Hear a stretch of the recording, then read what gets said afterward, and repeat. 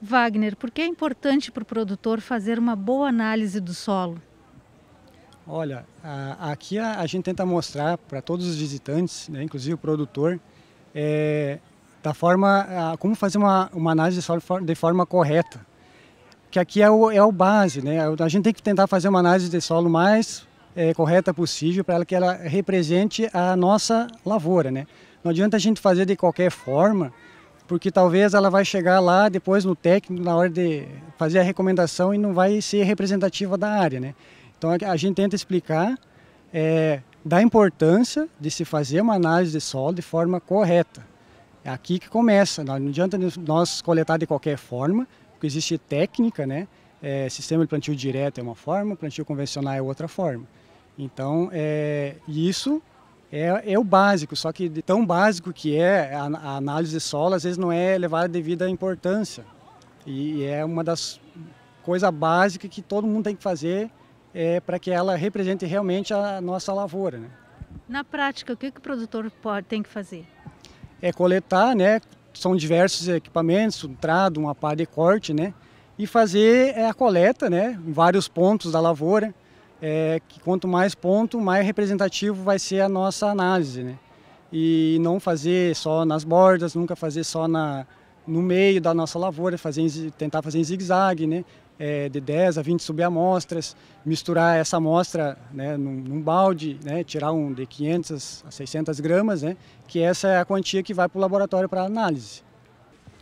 Aqui a gente tem duas condições de solo, tá, que são é, não so, é uma condição de solo é, natural, né, uma lavoura, digamos assim, como, como existe a lavoura hoje do produtor, e aqui é uma condição de solo que foi, digamos assim, é, melhorada para dar condições para essas raízes se desenvolverem mais do que essas aqui, tá? É, então, é, se numa condição de seca, por exemplo, né, provavelmente essa planta aqui vai sofrer muito mais pela falta d'água do que essa daqui. Porque essa aqui teve condições de ser, mais no perfil do, do, solo, explorar mais esse solo e procurar mais água no, no solo. Então, é um ano de estiagem, provavelmente essa, essa planta aqui vai se dar melhor do que essa daqui. E, e isso é o que a gente tenta é, mostrar, né, para os produtores, que é, a gente tem que tentar fazer o máximo, dar, dar o máximo de condição para que fique próximo dessa daqui.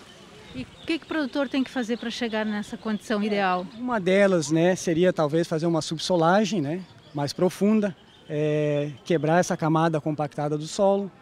A outra é a própria planta, né, a própria raiz de planta, né, ela faz uma escarificação natural do solo que ela cria também mais condições de estrutura do solo e vai é, melhorar, né, para que a próxima cultura se estabeleça, né.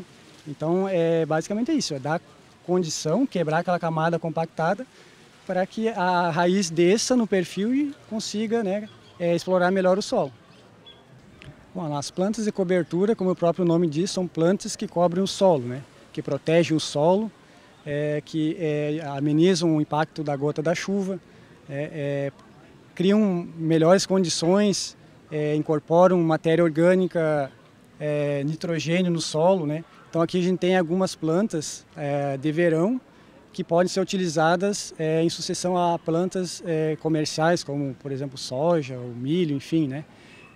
então, por exemplo, aqui as crotalárias são plantas bastante utilizadas para incorporar nitrogênio no solo. Né? e hoje com o preço dos insumos né, é, altos, é, seria uma forma de a gente poder é, otimizar o uso desses, é, dessas, dessa nutrição para as plantas. Né? Então, é que é o uso de, de, de plantas de cobertura e incorporadores de, de nitrogênio no solo. Quais outras plantas nós temos aqui? Aqui nós temos três espécies da, da, de crotalárias, né? a Juncia spectabilis e a Ucroleuca, é, e nós temos também a aveia de verão, o capim-sudão, o milheto e o sorgo, que também são é, plantas que podem ser utilizadas, é, gramíneas, né, que são muito boas para é, agregação e formação de melhora, melhoradoras da estrutura do solo.